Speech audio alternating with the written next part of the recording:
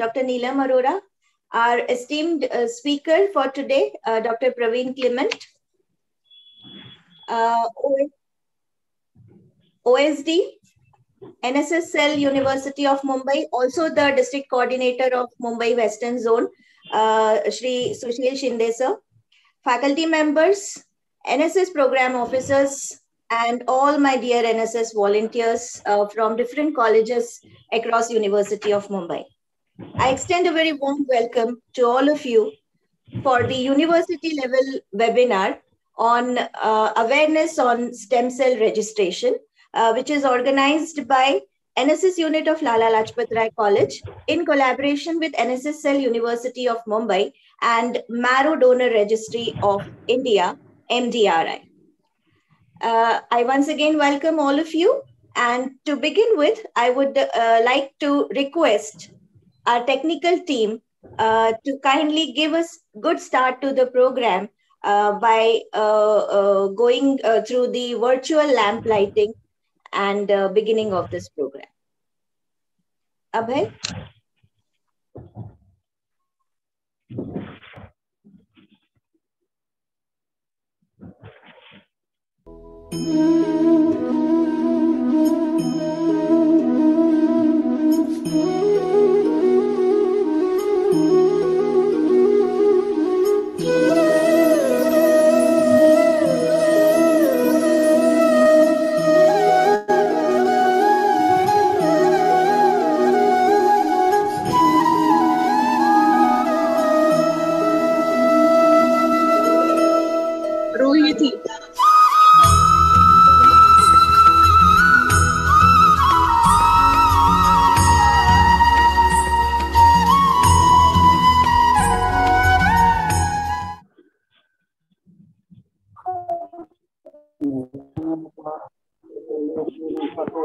You, Abhay. Uh, I would like to request all the participants to kindly mute themselves. Thank you so much.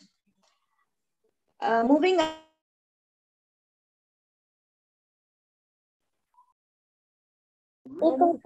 Ma'am, you are on mute. Oh, I'm so sorry. Okay. Yeah. Uh, so now am I audible? Yes, ma'am. Okay. Yeah. Thank you. Uh, so uh, next, I would like to request our technical team once again uh, to kindly uh, play the NSS song, and I would like to request all the participants to kindly rise up uh, for the NSS song.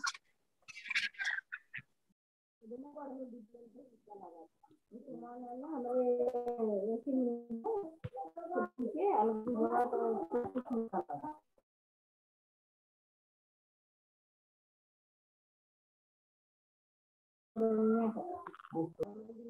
स्वराष्ट्र के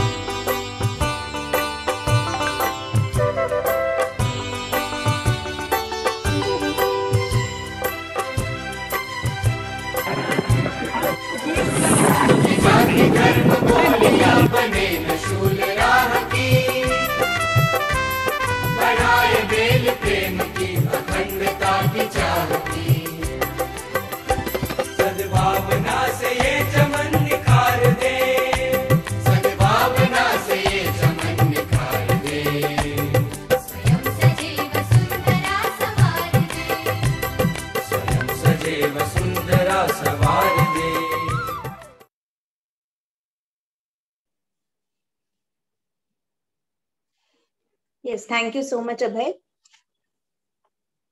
Now, I would like to request our uh, principal, Madam Dr. Neelam Arora, to kindly present her welcome address. Over to you, ma'am. Yeah, hello, good evening, everyone. And uh, at the offset, I'd like to thank uh, University of Mumbai and all the persons from University of Mumbai who are attending this program, and of course to our NSS team for organizing on such a very, very uh, a topic which is uh, not really a topic, which is something uh, stem cells and uh, a donation of human organ which only human beings can do. And because we cannot get this from any other person we are the only ones who are going to be the receivers and givers so i'm sure that uh, when i remember when uh, i had gone for one cremation and uh, there a beautiful line was written that chakshudan आपके जाने के बाद दुनिया आपकी आंखों से कोई और देखेगा so when we when we die the organs are of no use to us and when we are alive also like blood donation stem cell donation we can do so we should make every effort to save other human life and uh, a lot of aversion is there in the mind of the people about organs uh, organ donation but let me tell you, even I remember when my mother died, she used to always say, "We want to do. I want to donate my eyes." When she she died in the hospital, in spite of our grief, we called the doctor and we got the eyes donated. So at least we, we felt good that someone will benefit and a blind person will be able to see because of the donation which has been done. So organ donation is uh, really, really required in our country where so many people suffer from so many deficiencies.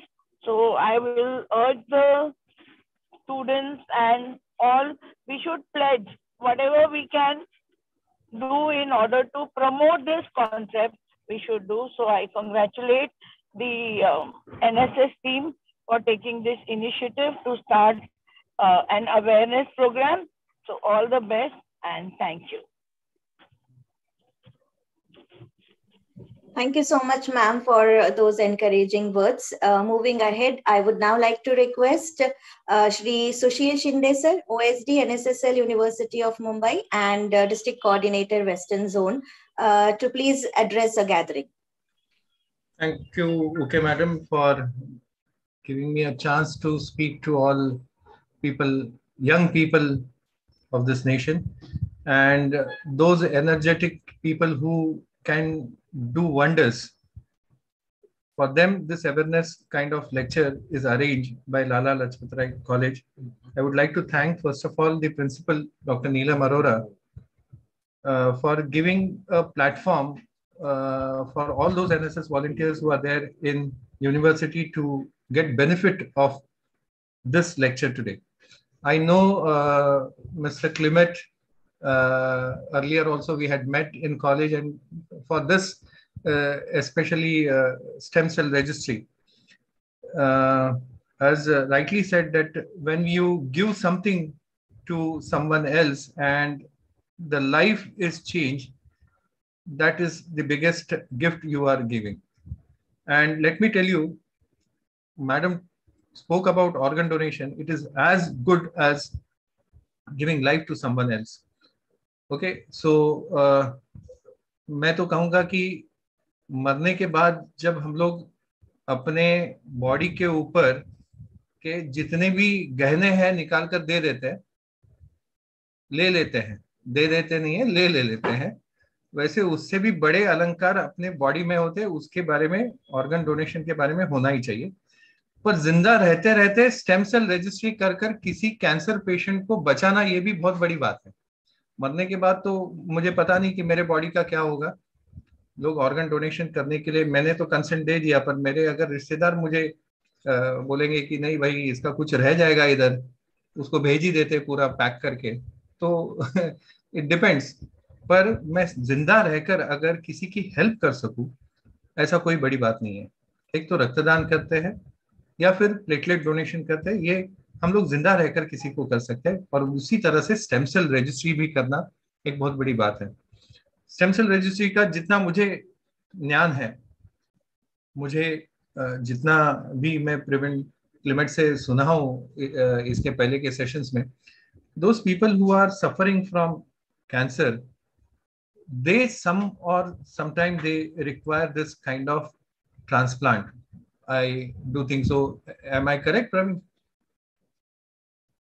I should not be wrong scientifically and for that there should be a database of people the genetic coding and other things should be done so if any person who is suffering from leukemia or something like that, and he requires a bone marrow transplant, correct? At that time, there should be a match. A blood donor, when he donates, he donates according to that donor groups, A, A positive, A negative, and something like that. But to match with the bone marrow, there is more difficult chances.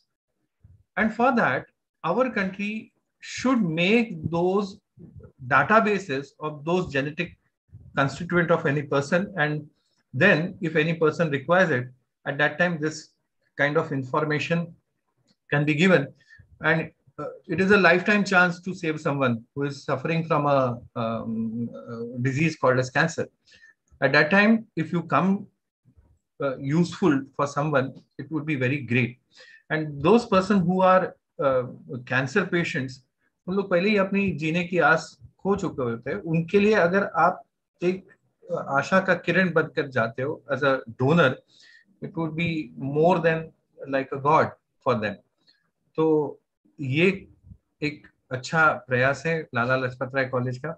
It's a very good effort by you to organise a orientation lecture lecture which will make all our volunteers aware about what is actually data stem cell registry and what happens and I should not speak more over here because Clement doctor Clement is very technical person in this and he will speak to all volunteers and he is going to give knowledge to all of us today.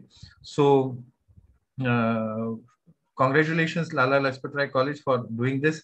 Uh, university is always there for doing good activities and you take a forefront in organizing all these activities.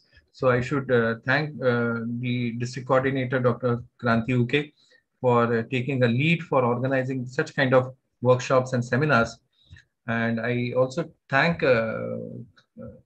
mr clement for being there yeah after a long time i'm seeing him too uh, so all students also, I would like to thank you two for joining. only remember is after listening to the lecture, don't keep the knowledge to yourself. Kindly spread the knowledge to others too. So somewhere or other we can come to help others Okay. And that is what is motive of NSS. This platform is to gain awareness as well as to give awareness to others. So I would like to thank each and everyone to being there. Be serious while listening to it. Don't keep your phones aside like what you do normally in your lectures कि हाँ कुछ तो eh, सुनने का है मैंने attend करने का है ऐसा मत कीजिए listen to it it would be useful for you too okay so thank you kranti ma'am for giving me a chance to speak to all young people and uh, after a long time i'm seeing um, clement for so i will enjoy his lecture too and thank you dr arora for uh, being so kind to use the platform of nss thank you very much jai hind all of you Thank you, thank you, thank you, Dr. Sushil Shinde. And very nice of university collaborate with us. Thank you very much. And looking forward to listening to Dr. Clement. yes And I mean, I'm not very well aware about exactly what is stem cell uh, registration. So I think it will be uh, very uh, eye-opening for me. Thank you. yes sir Thank you.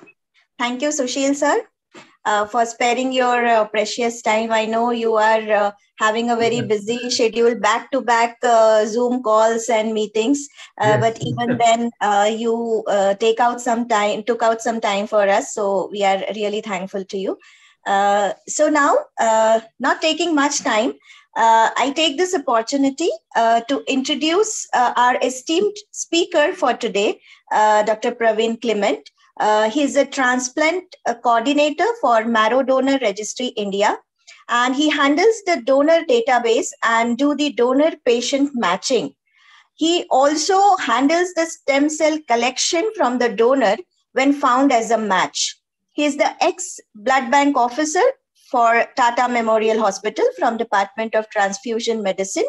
Uh, he has done his MBBS uh, from MGM College uh, uh, of uh, Medicine, New Bombay, and uh, his PG from CMC Vellore in family medicine. He has also done his MBA in healthcare management from Welingkar's Institute, and he's been practicing for almost 21 years now.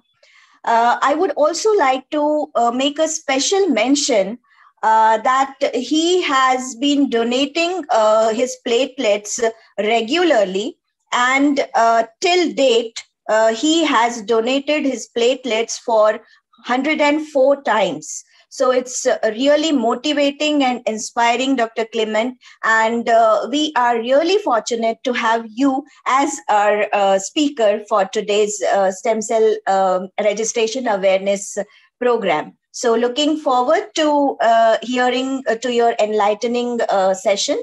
And also I would like to uh, make an appeal to our NSS volunteers. Uh, as Sushil sir also mentioned, that uh, you you don't have to just listen to what is being told today, but you have to be the brand ambassadors and you have to create awareness not among uh, not only among your uh, peers but also among the masses on this note i would like to invite dr praveen clement uh, uh, to kindly take over and address the gathering. Over to you sir.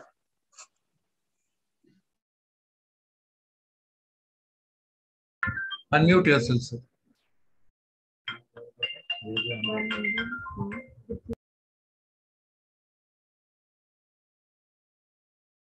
Sir you are not audible. Uh, praveen sir you are not audible So make him the co-host so that he can unmute himself. No? yeah he is the co-host ma'am Okay, okay.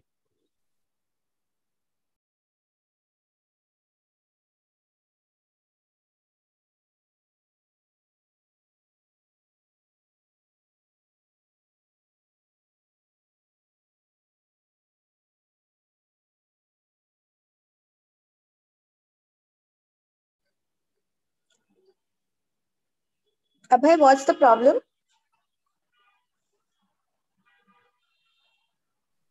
Ma'am, there should be network issue from sir side.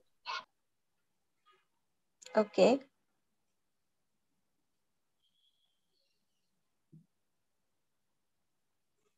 Uh, Ma'am, sir needs to rejoin the meeting. I think he has a glitch. That's why he's not able to speak. He needs to rejoin. So yeah, yeah, yeah, You, you can log out and then log in again. yeah.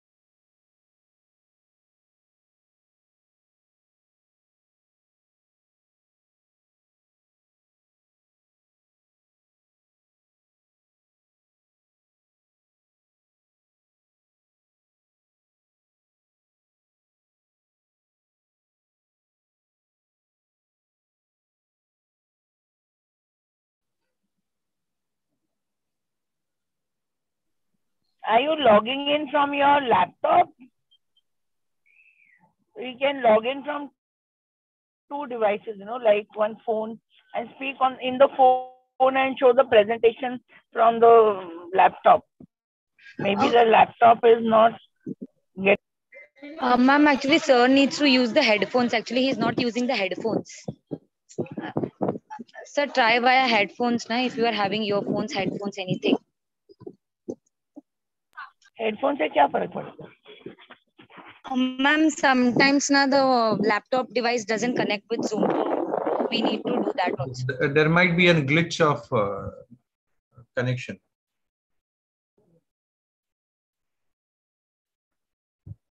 one more option is you log in from the laptop and from your phone so laptop you put on mute and speak on the phone and presentation you can share So he will be made co-host on two devices.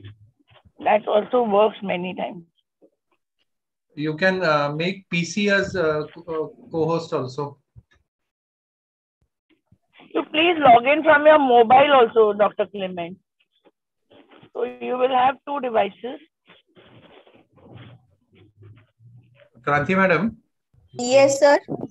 आता आता आवाज येईल अ, Okay. लिमिटचा कारण की PC म्हणून ते join झालेत त्यांना Okay. अनम्यूट करायला सांगा फक्त So you please unmute yourself.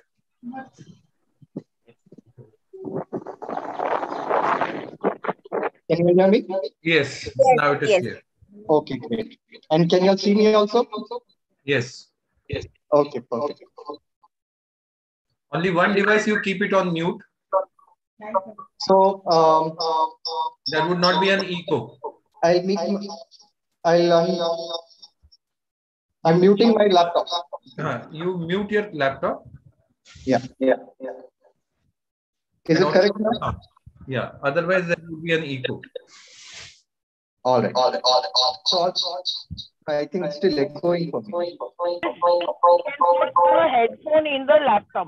So the sound will not go out. Oh, oh, I actually I don't have a, a headphone uh, with So me.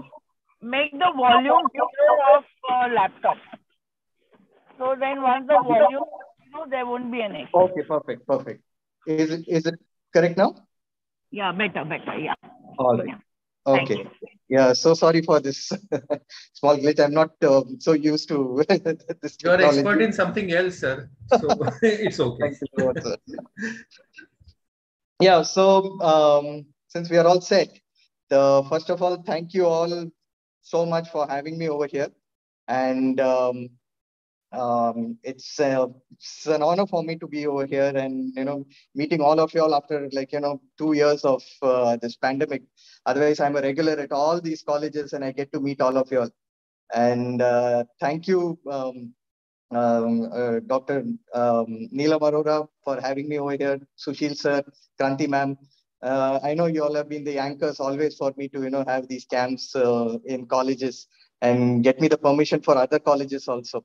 So um, I'm here again to talk about stem cell uh, registration um, because it's always a two-step process. Uh, there is a registration process first, and then there is um, um, a sample collection. So uh, today, uh, since because of the pandemic, we were held back for the camps and all, we cannot collect the uh, blood samples for the registration. So I'm here only to give an awareness uh, about stem cell donation. It's been two years that I've been to the colleges, so most of the students uh, are unaware of what a stem cell uh, is. And um, I'm here to enlighten them about the whole process and how simple it is and how all of you all can be heroes in your lifetime uh, by donating stem cells for cancer patients. And I'll just start um, um, uh, video share about the PPT which I have. Can you all see the PPT? Yes. Yes, All. sir. Okay, great. So, um, um, so we are having this program for the first time after the pandemic, so that you know all the colleges get introduced about stem cell uh, donation awareness, and uh, that's why we gathered all the leaders of the NSS and the colleges, the uh, principal, the professors, so that they know about it and they can spread the word to their colleagues and the teams who organize the camps. And we look forward to having a very overwhelming response in a few months from now when we have the camps in your respective colleges. So um, I'm the transplant coordinator with Marrow Donor Registry India, and uh, we call it the MDRI. MDRI is an organization, it's an NGO, which is funded by the Tata Trust. And um, so it we work under the Tata banner, which is trying to help cancer patients. As Sushil sir said uh, very rightly, that a cancer patient can have a uh, hope from uh, hope of cancer cure from donors like y'all. All of y'all, you young people, college students, can be a donor for a cancer patient. Now, don't worry that you know it's a big donation or something. It's a very simple process. I'll let you know what it is. So MDRI is going to organize a stem cell donor drive soon in your college. And today we are having the awareness about the stem cell donation. So what is MDRI? Marrow Donor Registry India is an NGO which was formed in 2009 with a vision to help needy patients, mostly a blood cancer patient. Uh, MDRI registers voluntary donors. See, all of y'all can be a voluntary donor with the MDRI. There is no forcing. All of y'all can register yourself as a stem cell donor with us in the hope that you can cure someone's cancer. So MDRI has a database of voluntary donors who are already registered with us, and uh, we function under the Tata banner. So what was the, why was this uh, organization started? Like what was the problem statement? So the problem came up when um, we had, uh, I'm from Tata Memorial Hospital and um, I used to treat cancer patients over there till 2009. So I was there for 10 years and the problem statement, we came to know that um, uh, there are many blood cancer patients who are only undergoing chemotherapy and radiation and so on but that is not a full hope of cure for these patients. Of course, many of them get cured from chemotherapy, but some of them who come to us in the last stages need a stem cell transplant from a donor like you. So uh, how do we find the donor? So there are many patients who are diagnosed with cancer every day who come to us looking for a match. So the stem cell donation should come from a person who's a complete DNA match. Now, what is this? So all of you, as I said, can be a donor for a cancer patient. Uh, But the thing is, you cannot donate randomly to any patient your stem cells and cure their cancer because your DNA has to match with the patient's DNA. Now, as Sushil sir said that, you know, blood donation is quite a simple process where you have to match only the blood group. A group goes to A group, B group goes to B group, or an O group can donate to anyone, something like that. But here it is not so simple your DNA has to match. Now, all of us have a very unique DNA. It's very, very rare. You might have heard that, you know, our DNA matches, never matches with anyone. It's not uh, completely true that it never matches. There is a small possibility that it will match with someone. And there is a uh, 25% chance that your DNA will match with your own brother or sister. Okay? So we try to match, try, a, try to find a matching. Whenever a patient comes to us, we try to match with the sibling. The brother or the sister of the patient could be a good match. And if at all they don't match, then we look forward to a registry where there are donors already registered who can be a match for such kind of patients. That's why we had to form a registry where we can register people like y'all, you know, who are willing to donate their stem cells for such cancer patients. And as I said, it's one in four chances with their sibling. And now it falls to one in 20,000 when you're not related to the patient. So all of y'all will stand a one in 20,000 chance that you match with someone. So although one in 20,000 we say, there is still hope for these patients. If we have a very large database, every patient will find a matching donor. So you can be a donor for these patients, although possibility is one in 20,000, it's not impossible. Hence, if there are people willing to donate their stem cells for such kind of patients, where do they look for? That's where our registry was formed, where all their names are registered with us. Of course, they are all anonymized. Nobody will know who the donor is. Okay.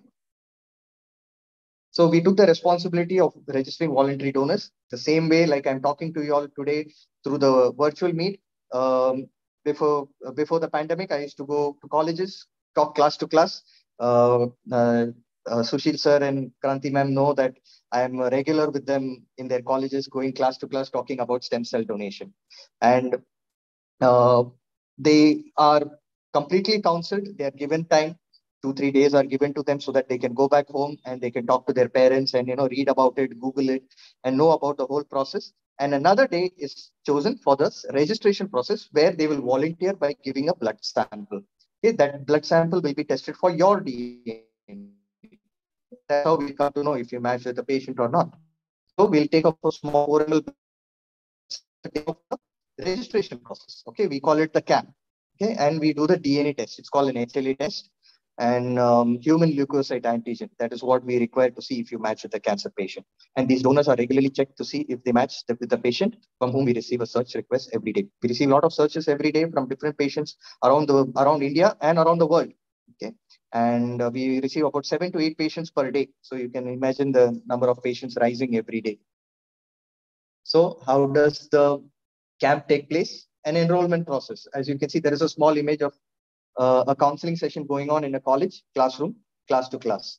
After that, there is a registration process where the donor has to fill up a form with all his contact details, keeping in mind that for the next 30 years, that is the only thing we have to trace you whenever you're found as a matching donor. So you have to give in all your name, age, address, telephone number, email ID, alternate address, alternate phone number, if at all your primary number changes, and so on. And whenever you're a match, we'll give you a call. And the final step is that you give a small 4 ml blood sample with which we can do the DNA test. Of course, we are trying to change the process of giving the blood sample. We might take a saliva sample also. As you know, DNA is present in all over our body. You can give a saliva sample also. So we, we are working on that. So once we start again, we'll let you know what we will be collecting. But nevertheless, the results will be the same. And the donor will be acknowledged by a donor card, which will go to his postal address, which he has mentioned in the form. That, that completes his registration process. Okay, as you can see, this is a college counseling session going on. Uh, we go class to class and talk to all the donors and give them the information. We don't force them to register. It is absolutely their voluntary uh, wish. We go to colleges also where we uh, give a counseling session on the floor, uh, uh, corporate offices. And um, the employees of the office are uh, uh, they volunteer to register on the next day where we take the blood sample. So who all can register as a donor? So uh, as you know, that blood donation can take place up to 65. Even stem cell donation can take place up to 65, 70 years also. But the registration process for the for that, the age should be between 18 to 50 only, because we are trying to maintain a younger pool of donors so that you can be with us for a longer time. That doesn't mean that the day you touch 50, you're out of the registry. You're always with us, even after 50 years. But to maintain the pool of young donors, 50 years is the cutoff. Both genders are welcome. There is no differentiation. Your weight should be above 50 kg and you should be in good health. You should not have any major heart disease, kidney disease, liver disease, or cancer itself. And the most important thing is your willingness to come forward. Registration process is a very simple process where you just have to fill up a form and give a sample. But you might be found as a match many years later or maybe the next month. But that is the time you have to answer the call and come forward because you have been matched with a patient. So what if a match is found? Our initial searches reveal if there is a preliminary match. If found, the donors are contacted and asked come see if they are a perfect. Always, you know, since we do camps on a large scale, we, there should not be any mixing of the samples. So whenever we found a match, we take a fresh blood sample again. Make sure that you are that donor who has matched with the patient. And that is outsourced to another lab, which is in US. And we receive the report within a week and we'll let you know if you're a perfect match or not. And we always look for a perfect 10 by 10 match. Perfect 10 by 10 match means your DNA of your blood only should be a perfect 10 by 10 match. Okay. Not the whole body DNA that will never match with anyone. So only the blood parameter should be perfect 10 on 10. And yeah, so once you're a perfect match, you're going to play God. Okay. You're the only one who can save that patient's life. So you have to pass something called a fitness for donation also. So you will you'll undergo a health, checkup from our side, totally free of cost, blood test, ECG, X-ray chest, and ultrasonography abdomen to see if all your uh, body parts are working fine, your blood is in optimum level. If at all we find anything, we'll take care of it first and then we can take the donation also. So, you know, you might have a low hemoglobin or you might be on medication for blood pressure or diabetes and all. That doesn't matter. We can take care of that. We'll control them and then we can take the donation also. Of course, only major diseases are exempt from the donation process. And we presume that you will go ahead with the donation process and save the patient's life, adding many years to the quality of many quality years to that patient's life because you're that rare one in 20,000. You can make a lot of difference to that cancer patient. Remember, whenever a cancer patient is coming to us, they come to us mostly in their last stages. So they have about three to four months to live. Okay. And you're the only one who can extend that patient's life to, you know, old age. So you're the one. And a word of caution, of course, if you change your mind and back out, it will be very disastrous for the patient because, as I said, you're the only match. Hence, humble request to stay committed because it's a very simple process also, just like blood donation. It's a needle process, nothing else. So the pre-donation prep. So how do you prepare uh, if you're found as a perfect match and you have passed the fitness also? So you, you know that, uh, as I said, the stem cells is a part of your blood, which is freely flowing inside your bone marrow. Bone marrow means the hollow part of your bones, where your blood is being formed every day. You might not know that. Okay, we are, we are looking at that part of blood which is inside your bone. That's why previously we used to call it bone marrow. And that blood is in the immature stage. Okay, immature blood, blood in the baby stage. That is what we are looking at, which we have to give to the patient. So, how previously bone marrow donation was a different process where we actually had to go inside the bone to remove the bone marrow. I remember in uh, late 90s when I was in Tata Memorial Hospital, uh, we used to actually do this uh, invasive procedure. Of course, technology has changed. There is there is a wonder drug called growth factor, an injection which is given to the donor five days before the process, which will bring that required blood which I want into your peripheral blood. Okay, you will not know anything.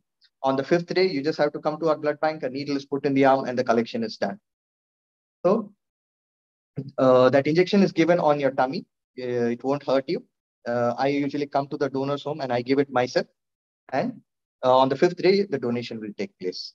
So once that stem cells, you know, which is encased in your bone marrow, on the fifth day, it is inside, it will mixing with your blood now. Okay. So blood in your veins. Okay. Just like a blood donation. So it becomes easy for us to collect in a blood bank procedure. So as you can see, there is an image of a donor donating. Okay. On the fifth day, the donor comes to the blood bank and he donates his stem cells and he goes back home the same day. Okay. It doesn't, it's not a hospital procedure or anything that he has to stay in the hospital or get admitted or something. The donor has to lie down on a couch. Uh, it's a two needle process. One needle is put in each arm and the collection takes place. Don't worry, two needles means we are not drawing blood from both the arms. It's a special kit where blood will come out of only one arm. It will go into a kit. As you can see, there is a machine beside the donor. On the machine, a kit is installed. It's a disposable kit. The blood will go only into the kit. It spins up the blood, separates out only the required stem cells, and the remaining blood is returned back to, uh, to the donor through the other arm. There are two needles. So one is a draw line, one is a return line. The donor will not know anything. And at any point of time, only 100 ml of blood is outside the body. Okay, it goes into the kit and back. So it is your own blood and it is safe. It's a disposable kit. It doesn't come in contact with the machine or the atmosphere. Okay, so it is safe. At the end of the process, because it's a very drop by slow drop by drop collection, the donor has to lie down for some time. It takes about two, three, two to three hours. And we collect only 200 ml of blood. Okay, that 200 ml of blood is rich in stem cells. It looks like blood only. Okay, there is no difference between a stem cell bag and a blood bag. And that 200 ml rich in stem cells is given to the matched patient. Okay. This is one of our donors, one of our very first donors, a college student only. And she was only 19 years old at that time when she volunteered. She said yes for the donation and uh, she saved one patient's life. The patient had about six months to live. Okay, now that patient is free of cancer. Okay? No hospital admission required, and you can go back home the same day also. Okay? There is no admission required.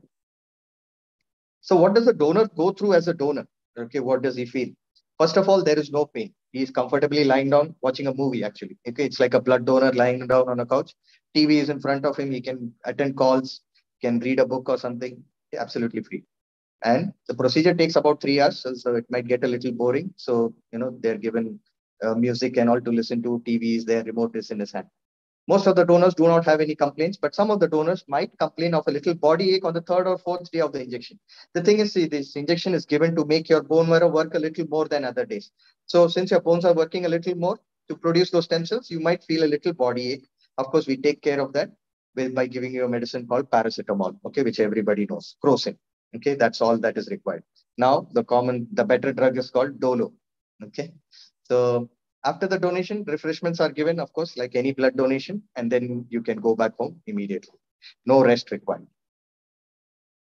So, how does the stem cell work? You know, previously it was such a difficult process. Cancer does not have any cure, and suddenly you just donate 200 ml of blood and it can, it can cure someone's cancer. It's very hard to believe something like this, but it is true. So, what's happening is uh, taking the patient scenario, the patient is having blood cancer, means his bone marrow is faulty. Okay, so bone marrow where his normal blood should be formed is not forming normal blood; it's forming abnormal blood. So what we do is we are trying to destroy that abnormal blood forming entity in the patient's body.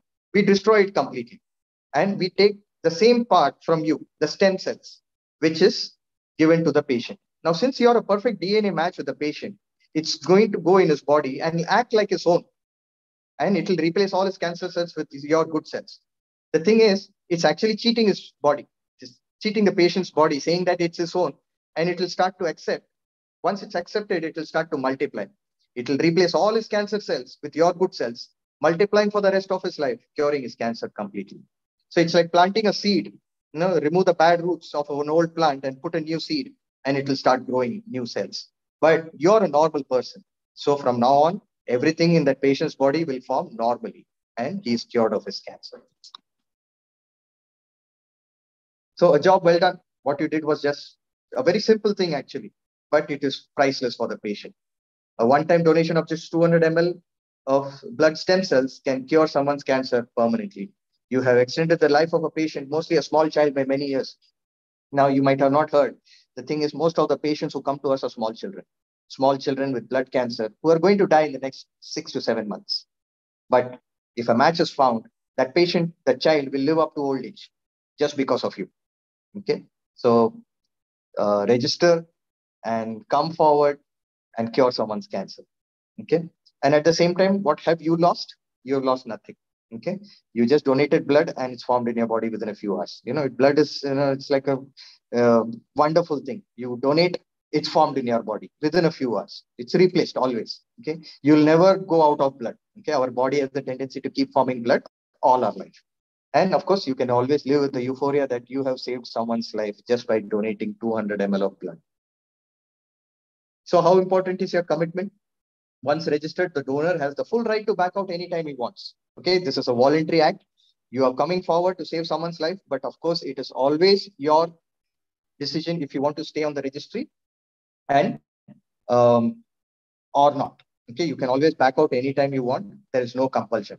However, it would be sad for us to know if your name has to be removed from the registry because we will be losing one donor, of course. And if you're there on the database, you'll be you might get a call maybe in the next 20 to 30 years when you are found as a match, or maybe never. Okay, you might be there on the database all your life, but you might never get a call. But if a donor is chosen as a match for a patient in desperate need, he is the only one who can save that patient's life. The thing is, our registry is very small. We have about 50,000 donors only with us. And most of them are college students like y'all. And all these 50,000 uh, students cannot, you know, cure someone's cancer all the time because they have to match. So we need a big registry with big number of donors. So finding a match itself is difficult, but if a match donor backs out, the hopes of the patients are shattered. Okay. Of course, we don't let the patient know that you know we have found a donor and you know um, he's going to donate without asking the donor first. We always ask the donor first that you know are you willing? Then we tell the patient that you know there is a donor who's ready. We don't reveal the identity. Okay. Uh, there is a donor who's ready for you, and you might be cured of cancer very soon. So register with a long-term commitment. So uh, humble request to be committed all the time. Commitment means coming forward the day you get a call. Simple as that. When you get a call means you have already matched someone. Okay. And there is a patient who may be a small child who is in his last stages of cancer who's dependent only on your donation. You're a rare one in 20,000. Registry being small, as I said, you might be the only match. It all comes down to you. You say yes, the patient lives. You say no, the patient might die very soon. But at the same time, for you, it's a very simple act of just donating blood, you know, sparing three hours. Um, you might have many questions re- related to this. Is it a safe procedure? Yes, absolutely. We've been doing this for about 40 years now, and um, it's a time-tested procedure. About 1.2 million procedures all over the world. Okay, all the donors are doing well. Everybody is safe. Everybody is happy, and no uh, bodily harm or anything. Okay. There are no side effects to the growth factor injection. Some of y'all might feel a little headache or body ache on the second or third day. Otherwise, there is no uh, major side effects to it. And no loss to the don- donor also. As you know, uh, organ donation is something, you know, you have to donate and that part of the organ is gone. This is stem cells. It's blood. It's formed in your body within a few hours. So you're not losing anything.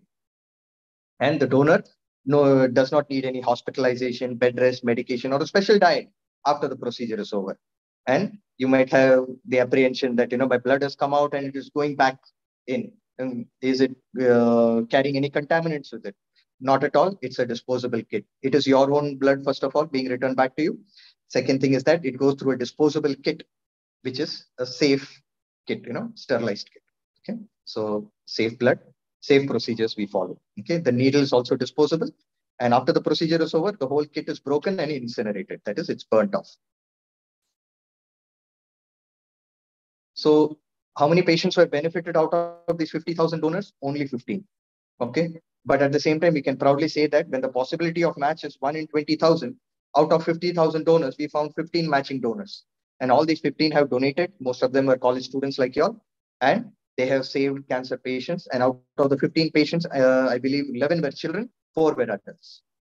Okay. Seven female donors, eight male donors, 14 were for Indian patients, one international patient also.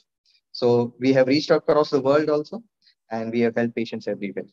All the products were uh, shipped to the patient within 24 hours. There was no delay in time from our side. So some trivia about uh, registries. As um, uh, you know, uh, India is lagging behind in the registry process, uh, but we'll get there soon. Uh, US has the biggest registry. They have 81 lakh donors with us. Uh, when we when we have 50,000 donors, they have 81 lakh donors with them. In Germany, uh, it is compulsory to register as a donor. The day you touch 18 years, there is no counseling, there is no uh, consent or anything. They just uh, force you that you have to register yourself. Otherwise, no um, government uh, related documents will be given to you, like uh, something like an Aadhaar card or something, or a social security number and all will not be given to you there, until you register as a stem cell donor.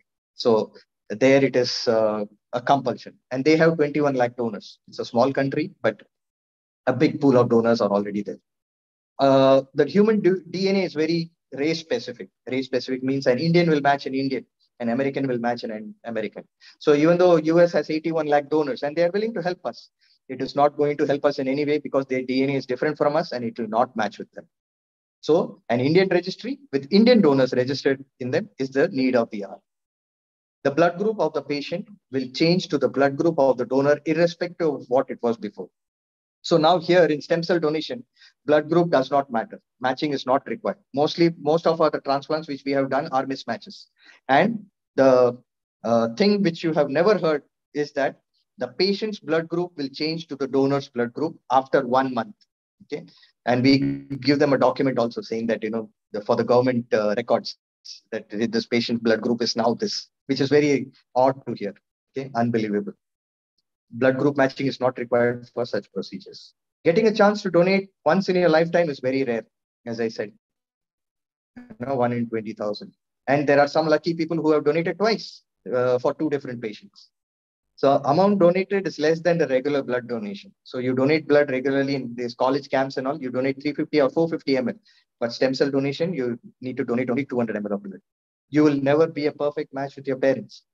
We always feel that, you know, DNA uh, matches with the family. And as I said, your sibling will be a 25% match. Then why not parents?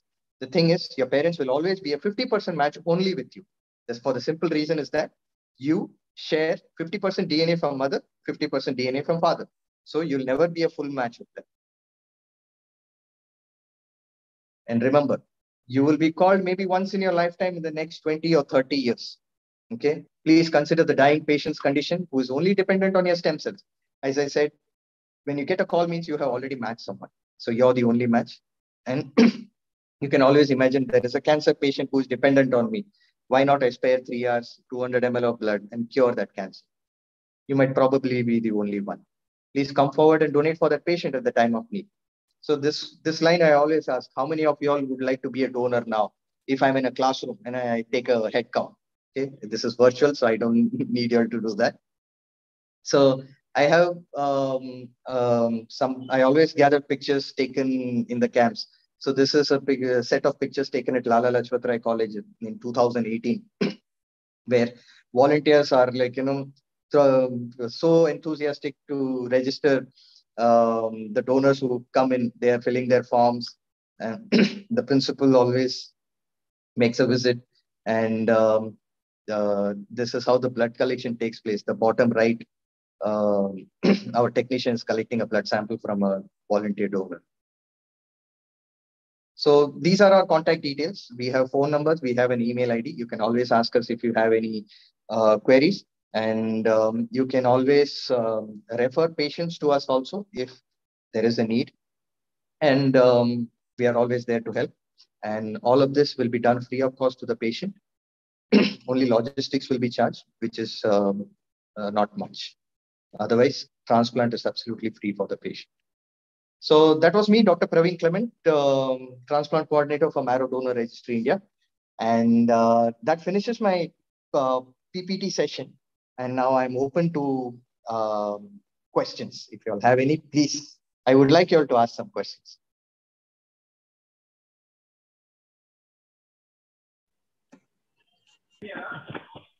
Yeah, Dr. Clement, I think uh, was a very, very emotional presentation by you we always think के हमारे लिए कोई कुछ करेगा but we are hesitating always to do for others so I don't know I wish many of I young students would come forward and register and save life maybe उसमें हम लोगों की भी कोई लाइफ कभी भी हो सकती है वी नेवर नो तो स्टूडेंट बट आज का parents take their permission. If they permit, only then you register. Yes. And irrespective of any of y'all being a donor with us or not, okay, we are always there to help y'all uh, when there is a need. So please uh, feel free to call us anytime. So we'll be happy to help uh, any of y'all.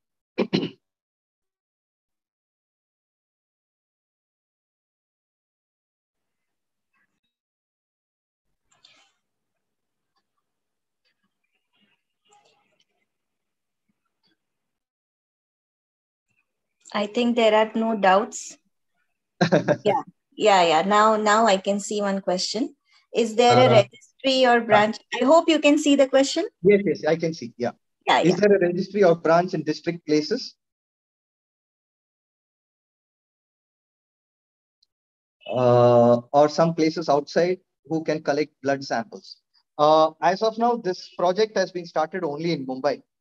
Uh, so we don't have any collection center outside Mumbai, but we are soon working on it to enroll um district blood banks where the donor can walk into any blood bank and uh, register as a voluntary donor. They just have to fill up a form there and uh, give the blood sample. or the saliva sample. So slowly we'll be switching over to saliva sample. So we are working on that and we'll definitely let you all know when that will happen. Mm, Because of the pandemic, we have a few restrictions to go across the city, uh, travel restrictions with DNA samples across the borders and all. So we are not doing it right now, but um, we are just getting all the clearances required. And once it is done, we'll definitely let you all know. We will not let you down on becoming a donor with us.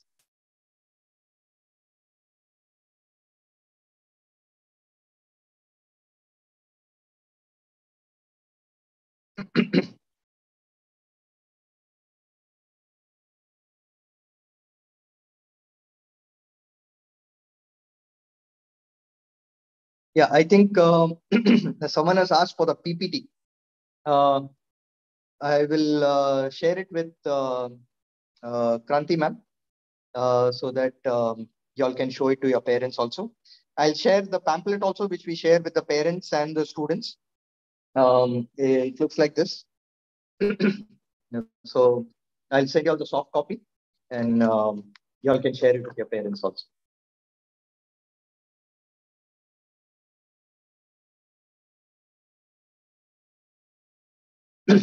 Yeah, there is a very good question. How is it that DNA matches the person who is not our blood relative? So as I said, you might be a good match, the best match with your own brother or sister, which is 25% chances because you you are from the same parents.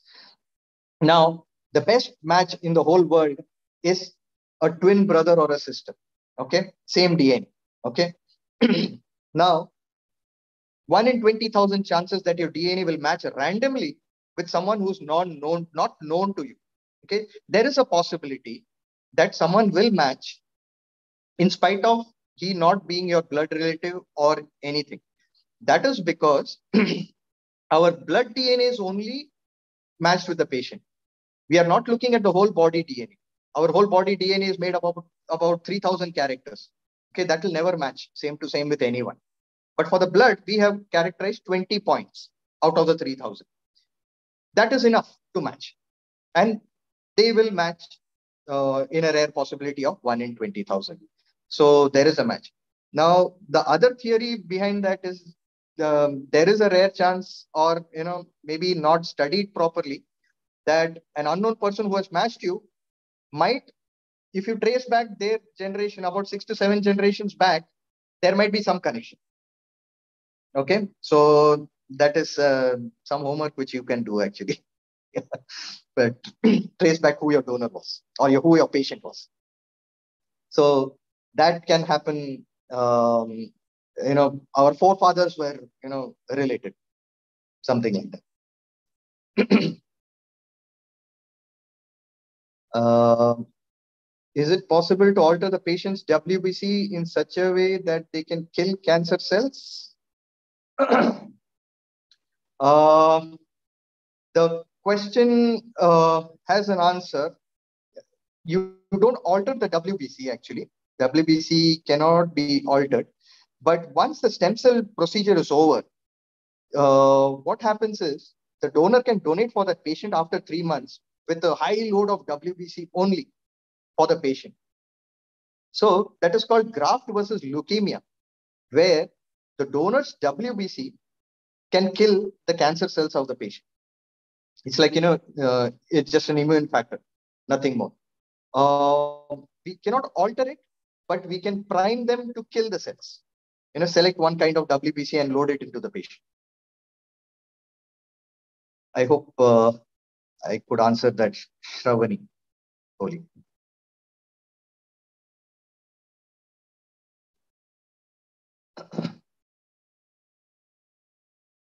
Uh, how may I register? Is there any Google form? Um, Kranti ma'am, uh, I think uh, you'll have some uh, Google form uh, through the college. Uh, sir, in our feedback form, we have just asked their willingness whether they want to register for stem cell donation. And Right. uh, what what we plan further is to have a meeting with all the program officers of our district, that is Mumbai City first, uh, where uh, where we can discuss uh, about how to go about uh, the camps uh, because I think uh, soon uh, we will be opening everything. Uh, you you are the better person to let us know about that. Uh, Yes. But uh, uh, before that, you know, before having the camps, we can circulate uh, these Google forms, uh, taking willingness from the students, uh, not only restricting it to the NSS volunteers, from all the students, and whatever numbers we are having through those Google forms, we can arrange a camp for them college wise. So Exactly. uh, but before that, we need to first discuss it with all the program Sure. officers. Yeah, and No after problem. that, we can go for this Google forms. Yes. Is there any possibility of getting fraud calls in the name of a match? And if yes, how to identify? yeah, that's a very good question. In fact, uh, this last uh, two years when we were in the pandemic, we reached out to all our 50,000 donors just to say hi to them and if they are still you know willing to be a donor with us. And many of them, you know, were not uh, very comfortable to answer our questions because we were calling from our mobile phones. And you know they were not really sure who's calling us. They know that they are registered with us as a donor.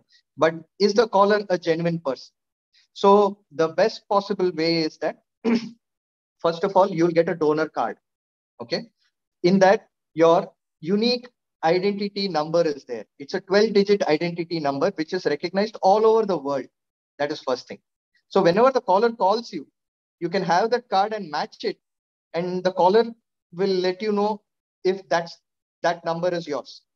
And that is limited to only the people who call from our office and that is hardly four or five people not more than that.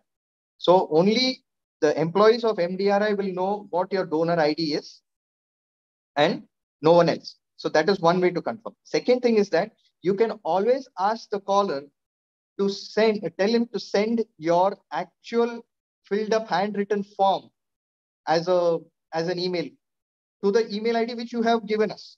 So you don't have to reveal your email ID also. We already have it.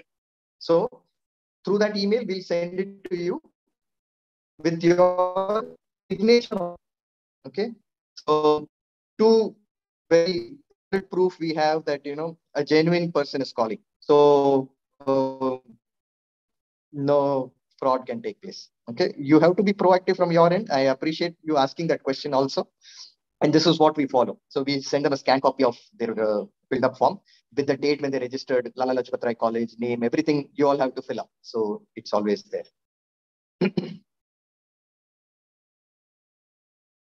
what is the procedure of preserving stem cells for self? Um, yes, the, that is a possibility, but uh, our country is not so rich for that right now uh, the possibility is there that you can donate your own stem cells and keep it for you for a later date. You know, that's what these cord blood banking do. You know, the bank the child's cord blood, keep it in the bank. Say, God forbid, that child develops a cancer maybe in the next 10, 20 years, it can be given to that same child. So, same way we can do that for us. But we are adults. So, when we donate stem cells, we are donating 200 ml of stem cells, which is a big bag. That has to be preserved at, you know, minus 180 degrees for lifelong say 60 70 years maybe 100 years which which you would prefer. And that will cost you at least uh, 40 to 50 lakhs because it has to be stored at you know sub zero temperature lifelong. And nobody should open that box regularly okay? And um, nitrogen cylinders are required which are very very expensive. So cost is the factor but yes you can do it if uh, a facility is available that way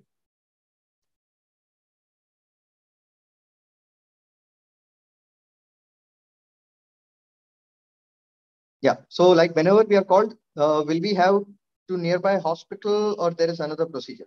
Yes, mostly a nearby hospital only. Uh, depends where you stay. If you're in Mumbai, we have all the hospitals, uh, major hospitals registered with us. Hinduja, Hiranandani, Tata Memorial Hospital in Navi Mumbai and Parel, uh, Hospital in Mahim, uh, Jaslok Hospital. All these are centers for us to do the collection. So we can arrange something which is feasible for you. We prefer Tata Memorial Hospital because uh, their expertise is very high. so we always do it there.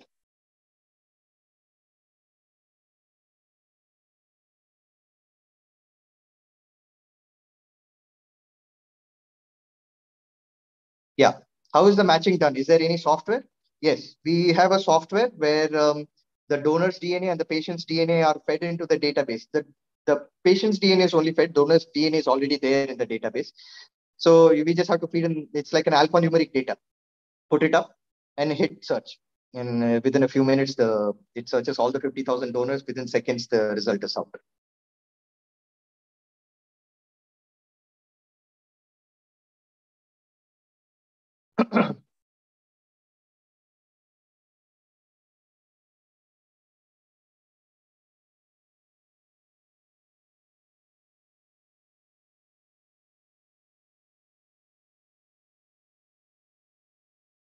After the procedure is done, when can we donate blood? So once you've donated stem cells, you can donate blood after four months. Okay. So four months is the gap which we have capped for uh, for your regular blood donations after the stem cell donation. Otherwise, between two blood donations, it's still three months. Any other questions?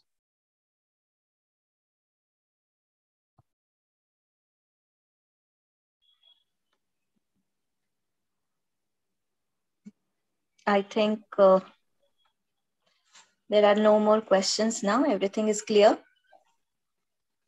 So thank you so much, sir, uh, for uh, a very enlightening and informative talk. Uh, in a very lucid manner, you have very well explained about all the aspects of stem cell registration and donation and the need uh, to increase the database. Uh, it's really overwhelming to know that just 200 ml of our blood stem cells uh, can save someone's life, uh, where the possibility of match is only one in 20,000. Uh, so uh, you also spoke about uh, how how important is our commitment, and uh, we really feel uh, that uh, the youth, the students of this country, has a very important to important role to play in this, and therefore I I want to appeal all our NSS volunteers first of all to be the agents of change and to create more awareness uh, uh, Uh, among their colleges, uh, among their friends, and uh, among the masses uh, also. Uh, so that our database uh, is increased and we uh, we get more donors more willing donors for stem cell donation. Uh, as you mentioned that uh, during the pandemic uh, you were calling all 50000 you know the potential stem cell donors. I was also one of them and i was so happy to get a call from mdri i. Thought that in the recent future i may get a call but then i'm still waiting so uh, i will be very fortunate if uh, i get a chance uh, like this. So uh, thank you so much once again sir for uh, uh, sparing your precious time time and being with us today. And we will be in touch and we will be associated for the rest of the period so that we can create more stem cell donors through this camps and through these awareness activities so thank you so much once again. On this note, uh, I would uh, like to propose the formal vote of thanks uh, for this uh, webinar. First of all, uh, I would like to thank, uh, of course, our dynamic resource person for accepting this invitation and creating awareness uh, about the very crucial topic. Uh, and uh, uh we can see the responses also that uh, more than 450 students uh, have participated in this. so I think this is this is a grand success. so I'm very thankful to you. I would also like to express my gratitude to our principal, Dr. Neelam Arora ma'am, and our management uh, for providing us with all the resources uh, for their constant support and guidance to conduct such activities. I would also like to take this opportunity to thank uh, our director, uh, Dr. Sudhir Puranik sir, also the registrar of University of Mumbai, uh, Mr. Ramesh Devkar sir, program officer, NSS Cell University of Mumbai, uh, Sushil Shinde sir, uh, OSD and uh, district coordinator Mumbai Western Zone uh, for uh, always giving us the permissions to conduct these programs at the university level and also for their constant support. I would also like to thank the teaching and non-teaching uh, staff of uh, Lala Lajpat Rai College for their cooperation. I would also like to thank uh, the program officers uh, of uh, various colleges across University of Mumbai for encouraging these many volunteers uh, to attend this uh, webinar at a very short notice. Uh, so thanks to all the program officers. And uh, the success of the program, of course, depends upon the number of participants. And we have uh, such a huge number of participants. So I would like to thank all our NSS volunteers, uh, the participants to this webinar. Uh, for their enthusiastic presence and for uh, for participating in this uh, event in large numbers. Uh, thank you so much uh, to all my dear uh, NSS volunteers. Last but not the least, I would like to thank my team, uh, NS, uh, my team of volunteers from Lala Lajpat Rai College for taking all the efforts to organize and execute uh, this program uh, seamlessly. So thank you so much, uh, especially the technical team, and thank you so much, Jyoti Singh, uh, for your last minute entry and saving us as as always. So thank you so much, everyone. And I think the feedback link is posted in the group in the chat box. So you can uh, just fill up the feedback forms, and that would be your attendance uh, uh, as well. So I request all of you to kindly fill the feedback form and then only leave this meeting. Thank you so much, everyone. And I would now like to request all of you to kindly switch on your cameras so that we can have uh, a group photo, a virtual uh, group photo for this program. I hope I'm visible.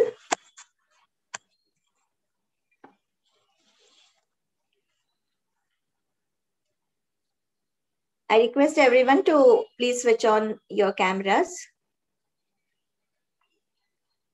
Abhay, after uh, clicking the picture, please let us know.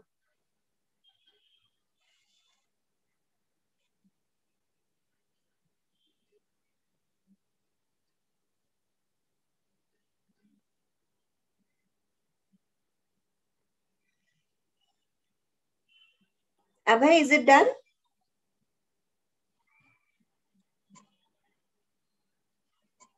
Yes, ma'am, done, done. It's done. Okay. Okay. Thank you. Thank you so much. Thank you, Dr. Praveen. Thank you so much. Thank you. Yeah, yeah. So we'll be in touch and we'll uh, we'll just hold a meeting with all the program officers uh, to take the consent and to take the willingness from the students uh, so that we can soon organize the camp as well in Yeah, our so- colleges. We can have this session which I had just now with the individual colleges also. Yes, Again, yes, yes. After that meeting, they can, yeah, yeah, they can uh, just coordinate with you and uh, at their individual college levels, uh, they can organize it for uh, the whole college. Because now uh, we were having only NSS volunteers with Correct, us, correct. Yes, yes. but we So need have to to reach out to this. each and every student. Right. Yes. Exactly. Yeah. Okay. Thank you, everyone. Thank you, Thank you so much for your time. Thank you. Sir.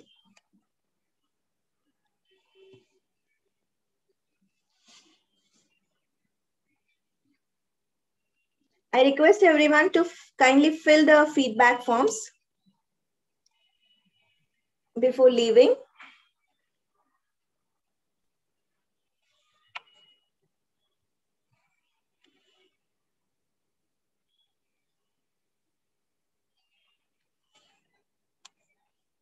Shall I leave the meeting, ma'am?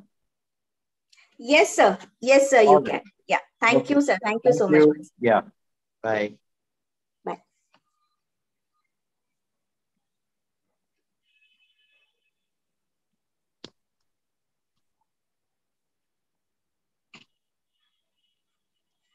Jyoti, are you there?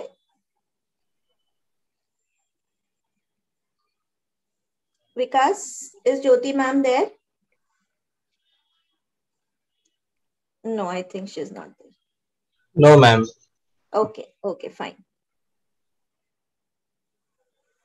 Okay.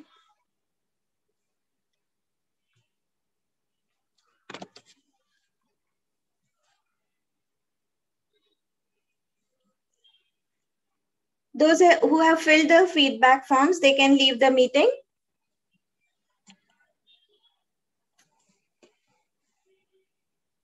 Where is our team? Where is our team? Abhay, Siddesh, Vikas. I can't see you.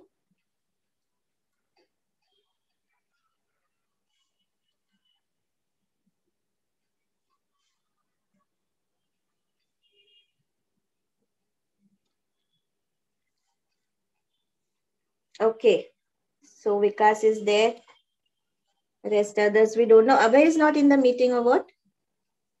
No, ma'am. Abhay left. Okay, okay, no problem. Yeah, he had to leave. He had to go somewhere. Okay, so Siddesh, uh, who is the host? तू? अच्छा तू झालायस का okay fine मग सगळ्यांचे feedback झाल्यानंतर just and the meeting हा हो चालेल या okay so shall I leave ना ओके मॅम या okay so thank you so much once again everyone Welcome, okay? Yeah. Okay.